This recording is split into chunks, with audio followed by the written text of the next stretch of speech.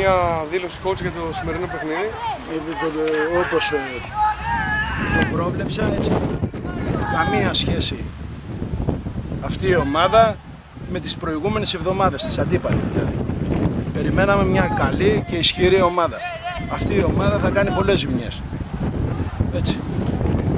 Στη, στη δημιουργία δεν είχαμε καθαρό μυαλό, παρόλο που δημιουργήσαμε φάσεις για γκολ. Αμυντικά στάθηκαν πάλι πολύ καλά τα παιδιά. Ειδικά θέλω να εξάρω την απόδοση του Φωμαίδη του Πέτρου και όλων γενικά των παιδιών. Συγχαρητήρια σε όλα τα παιδιά. Οι στόχοι της ομάδας για φέτος; Η στόχη είναι παιχνίδι, παιχνίδι. Παιχνίδι, παιχνίδι. Είναι να κερδίζουμε κάθε παιχνίδι. Αυτός είναι ο στόχος. Τώρα από εκεί και ύστερα και να αναδείξουμε παιδιά από την περιοχή μας νέα παιδιά.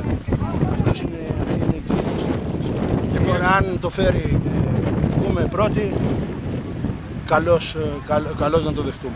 Και μία, ένα σχόλιο για την ομάδα της Νίκης και τις οποίες είχατε πε- υπάρξει και παίχτης στο παρελθόν. Πώς τη βλέπετε τη φετινή χρονιά και Με αγάπη πάρα πολύ και ελπίζω ότι θα σωθεί. ευχαριστούμε πάρα πολύ.